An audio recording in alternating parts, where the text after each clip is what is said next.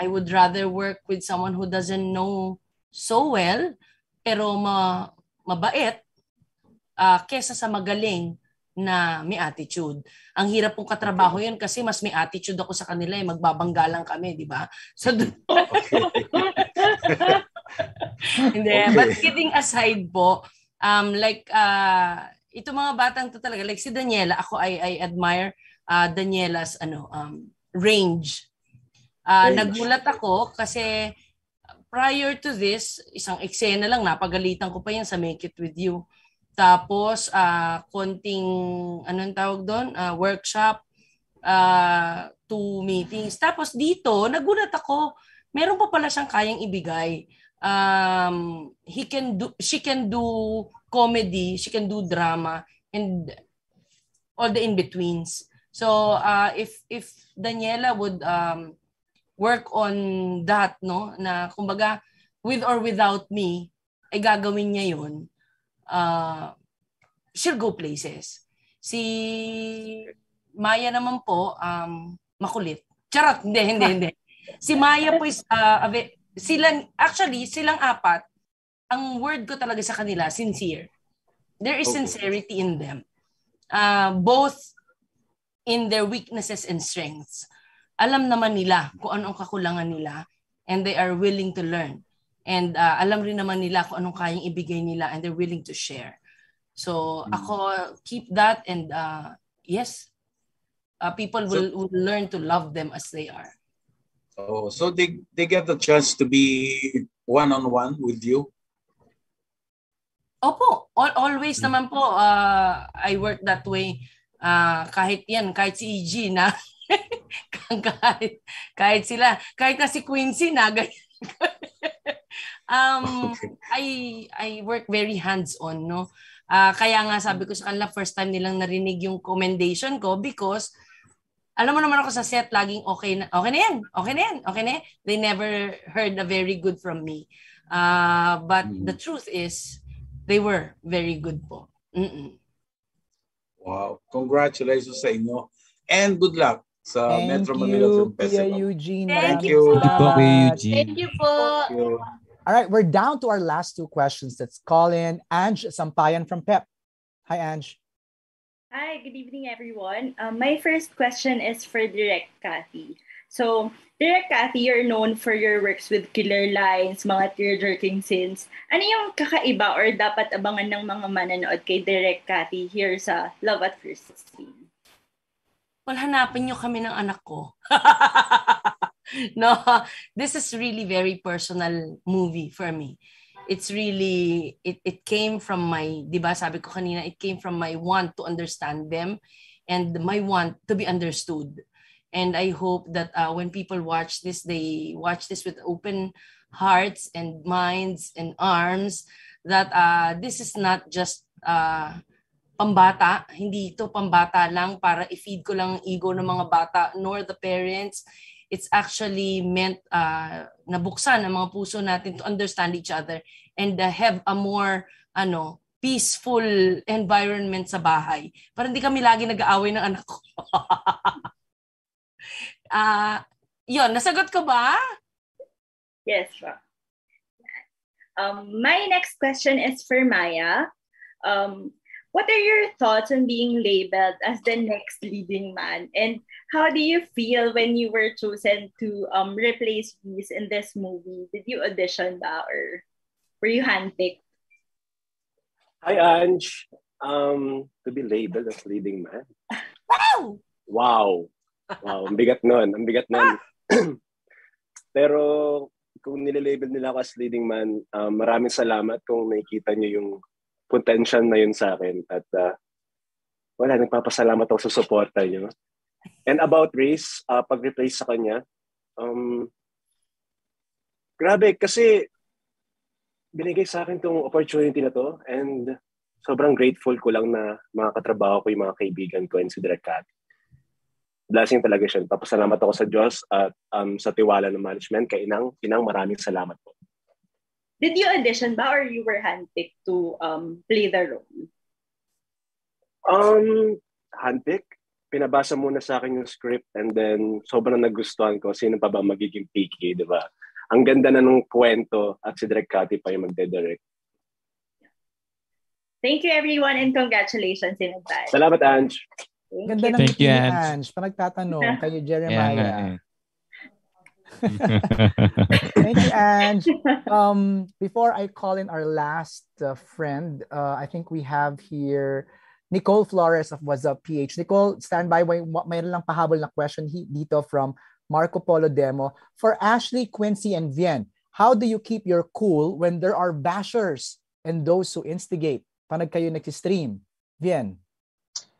Ah, ako ah since ah, one year more than a year na ako sa ah, Kumu, hindi talaga naiiwasan na maraming bashers, mga negative comments sa stream but ah as long as you stay true to what you do sa live streaming mo, you stay focused in giving good vibes, 'di ba? And ah kasi you owe that to your viewers and your supporters.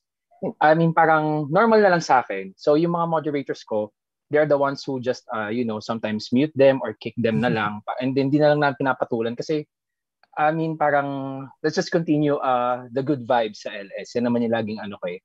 Motto ko lagi sa mga streams ko is magbigay ng uh, magandang uh, stream, magandang uh, performance kasi uh, nandyan yung mga supporters to enjoy. So, yun. Okay. Hindi na lang ako nagpapapek. Quincy, ikaw, how do you handle bashers? Yes, for me naman, um, Kumu is great because there are moderators. You can mute them, kick them, and all that. And also, meron din Kumu police that goes around to maintain a positive environment every streaming. But um, every time I come across um, such comments, I just kind of like, you know, sometimes don't acknowledge them or when they keep spamming, then kind of just like parang medyo pagtawa na na lang ng konti yung comment and kind of just like acknowledge it in a funny way. Yun lang. Ashley? Yes, ako naman ano, ah, medyo parang ano na ako dito sa bashing because sa ano ko nga din sa gender. Pero ako for me, parang kung paano ko siya i-handle is ginagawa ko siyang ano positive. Like kung batoy nila ako ng negative, parang mas inaano ko siya ng positive. For example, like babae ka po ba? Tapos parang ako, depende sa weather, ganyan. So parang hindi na sila magbabash kasi parang the more na binibigyan mo sila ng kindness, hindi na nila para i-ano yung ano, para ituloy yung bashing. So yun, yan yung ano. Thank you, Ashley, Quincy, and Vien. The next question is for Daniela, Cal, Mia, and Anthony, and EG Boy. Which is more exciting for you, streaming or vlogging, and why? EG. Um, ako kasi, gamer kasi talaga ako eh. So, ano talaga, nag-streaming talaga for me. Pero, kumbaga meron ako kasing mga ideas, like, yung sa, nag, hindi naman kasi vlog yung ginawa ko sa, isa, sa channel ko. Um, mockumentaries yung ginagawa ko. And, goods din naman siya, pero yun naman yung creative side ko. Pero kapag sa hobbies talaga, and yung sa likes ko talaga, gaming streaming talaga yung ginagawa ko and super happy ako doon kasi you you have fun doing what you want and kumbaga nakakakuha ka rin ng tips and yung kasama dun sa niche ko, yung sa community ko, and nagkikita-kita kami, nalalaman namin yung mga kapareho ng mga trip ko. So yeah, this is sila Jennings and si yan si Yes, Anthony. actually, oo.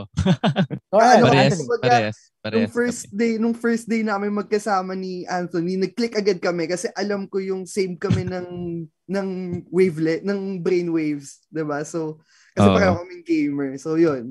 Alam nakakamdaman namin sa isa't isa yun eh kung pare-pareho kami ng niche. Yun lang po. Anthony? Um, parehas kami ni Iggy Boy sa gaming din. Although, pwede mo rin gawin yung i-shoot mo na lang yung sarili mo na naglalaro tapos i-upload mo na lang din sa YouTube. Pero pwede rin siyang ganun eh. Pero ngayon kasi eh, sobrang uso na ng mga streaming talaga eh. Send na lang ang stars. Tapos parang mas madali siyang kumita, di ba? Parang ganun. So, siguro gusto ko ding itry and nag stream na din naman na ako. So, mas mapapadali siguro if streaming yung Right. ko-continue ko. Yeah. All right. Cal? Sorry, streaming or vlogging, tama ba? Yep. Um, ako streaming. Kasi bilang hindi naman ako madaldal, nahihirapan ako pag wala akong ka-vlog. So pag streaming kasi nababasa mo naman yung comments ng mga viewers mo, ng mga supporters mo, mas madali ka makipag-interact sa kanila. And parang mas alam mo kung ano yung sasabihin mo kasi minsan nagtatanong sila, may gusto silang malaman, and madali na lang masabi kung ano yung i-share mo. Ganun. All right. Danny? po both. both streaming and vlogging po talaga. Like, yun nga yung ano namin ni V. Rami eh. Streaming kasi, yun nga, gusto ko rin nakikipagkwentuhan sa mga tao. And vlogging kasi gusto ko maging content creator din someday. Gusto kong gumawa ng, you know, challenges, mga vlogs, ano, updates sa buhay ko, traveling, ganun. So, both po. All right. Maya? Um, streaming po. Um, kasi gusto ko yung live interaction with viewers. Okay. Uh, down to our last uh, question from Nicole Flores of What's Up PH. Hi, Nicole. What's up, every- everyone? Ayan, Um, nagbakel pa. Oo nga po Go, eh. Nicole. Congratulations po sa lahat ng bumubuo ng Love at First Stream. So, my question po is for the love teams, um, Kila Jeremiah, Kari Daniela, and Anthony po. So, yung title po ng movie, I Love at First Stream. So, when you met each other po ba for this project, did you did you have a love at first shoot? Ganon. Like, for example po, sa set or sa eksena. Ayun po, and why? Oh, love at first sight, Nicole. Diretso na. Ganunin mo na. Yes po. Oh, di ba kinilig si Nicole? Okay. Danny and Anthony muna.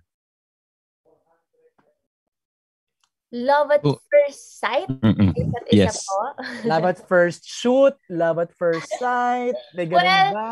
Siyempre naman po may love para kay Jennings. May love ako for Jennings kasi nagsimula pa lang kami Make It With You, nag-shoot kami Love on the Move, and then now meron Love at First Stream. May love po as friends. Siyempre, Oo naman. Eh, close sa, sa, kami. sa, tsaka sa workshop pa lang, may love at first sight na eh. Wala, wala pa yung pelikula. Ay, ganun ba? Oo. So, ayan. How Sagot ko ba yung tanong mo? Nasagot ba, Nicole? Okay ka doon? Okay, happy si Nicole doon. Kau and Okay, happy Maya. naman siya doon. Love at first shoot. Feeling ko wala siya shoot eh. Ah. Naka-off cam. Wow! Aba, Kaya panititake na kami, dala-dala na namin yun. At nakatulong yun sa chemistry. Totoo ba, Direk? good acting. Alin yan? Alin yan? Maya, ano pinagsasabi mo? Ay, wala. Pag take one lang yun, direct. Labat first. Yun ang naintindihan ko, labat first shoot. Kasi lagi naka-off cam. Ano? Hindi daw kasi sa sa set, na sa off cam daw. Kaya pagdating nila sa set, dala na nila. No comment? No comment. Okay, okay na yun? Love language po kasi ni Maya pambubuli eh. So, gets, gets, gets, gets So ramdam naman. mo naman, Kau, yung love sa pambubuli.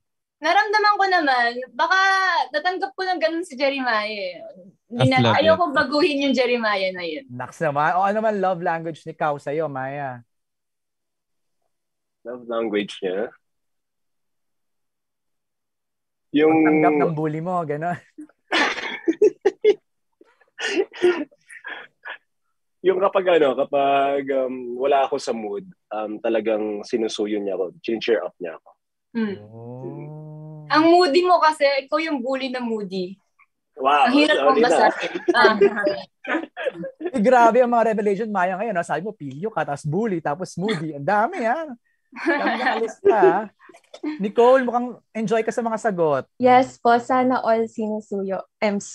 So, ang last question ko po kay Direk. Hi, Direk. Um, ngayon pong pandemic, ano po yung mga bago niyong strategies when it comes to filming po? Ah, wow. Okay. Ang totoo, ayoko talaga sanang mag-shoot hanggat pandemya pa kasi prior to this movie, parang ang mga protocols ay social distancing, bawal hawakan artista, ganyan-ganyan. Sabi ko talaga sa Star Cinema, how?